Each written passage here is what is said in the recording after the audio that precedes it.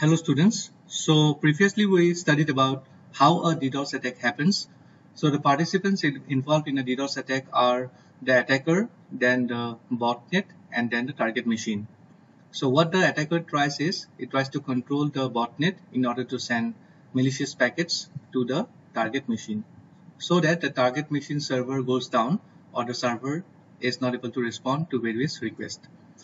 So the most obvious symptom of a DDoS attack is a site or service suddenly becoming slow or unavailable.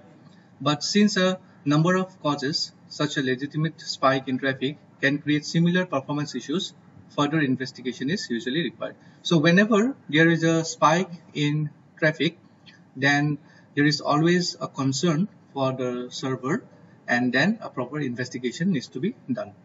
So traffic analytics tools can help you spot some of these uh, telltale signs of a DDoS attack. So there are various tools available in order to always study the various traffics. So uh, we already know about applications like Wireshark, then Snort, etc., uh, which are able to sniff the incoming packets and make certain analysis. So based on that, we have to decide whether the traffic is normal or not. So there are certain ways here uh, which can help us to identify a DDoS attack. Suspicious amount of traffic originating from a single IP address or IP range. So if certain amount of traffic comes from a single IP or IP range, okay, that is flooding the network, then there is a chance that there is a DDoS attack. A flood of traffic from users who share a single behavioral profile such as device type, geolocation or web browser version. So normally what happens is whenever there is a DDoS attack, there is going to be a flood of traffic of similar pattern, right? So we have to study that.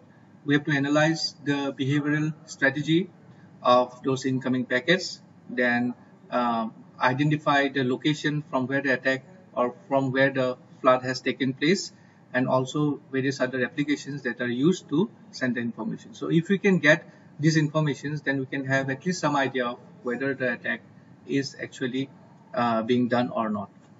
An unexplained search in request to a single page or endpoint.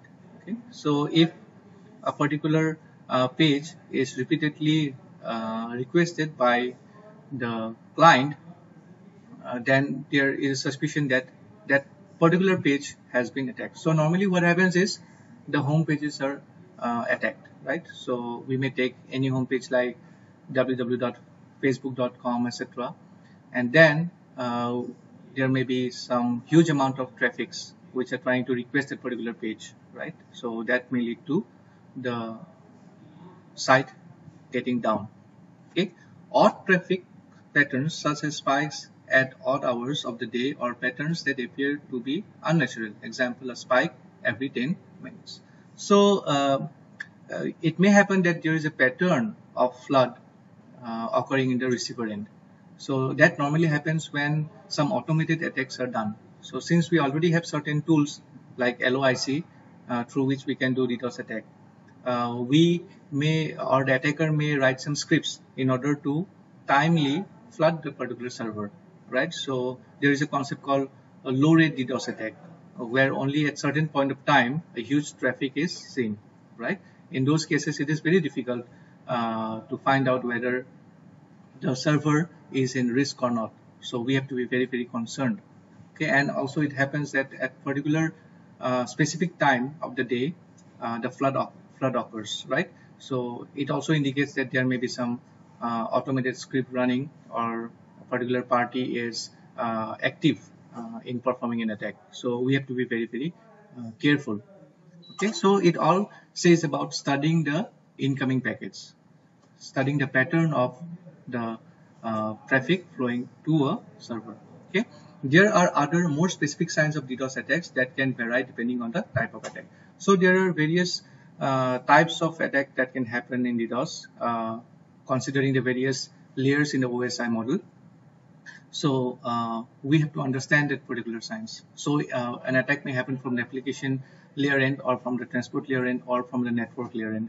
So all these individual attacks have their own uh, patterns. So we have to understand them, right? Okay. So next slide. Uh, what are some common types of DDoS attacks? So if we study the various forms of DDoS attack, then we come down to a particular specific types of attacks, which are application layer attacks, then protocol attacks, and uh, volumetric attacks. So let us try to understand them. So different types of DDoS attacks target varying components of a network connection.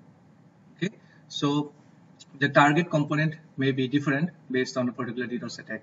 Okay, so it uh, means that the various layers of the OSI model may be targeted. So in order to understand how different DDoS attack works, it is necessary to know how a network connection is made.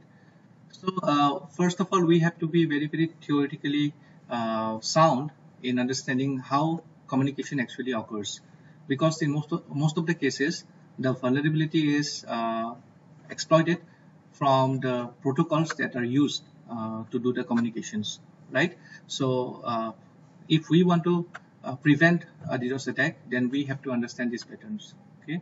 So because we are not only interested in detecting a DDoS attack, we are also interested in preventing a DDoS attack, right? So we have to understand the various uh, concepts like uh, three-way handshaking in TCP, etc. Okay, so a network connection on the internet is composed of many different components of layers. We already know that. While nearly all DDoS attacks involve overwhelming a target device or network with traffic, attacks can be divided into three categories. An attacker may use one or more different attack vectors or cycle attack vectors in response to countermeasure taken by the target. Okay, so what it says is there are different ways of doing a DDoS attack. So what the attacker can do is uh, it can uh, apply uh, different forms of DDoS attack. Okay, so that even if one of them is uh, caught, uh, the other uh, ways can still be running. Okay, and the more uh, vectors we use, that is the more different types of attacks we use, the more it difficult becomes difficult for the receiver end to detect it, okay, or at least to find out the reason for those kind of floods. Okay, so we have application layer attack, then protocol stack attack, and volumetric attack.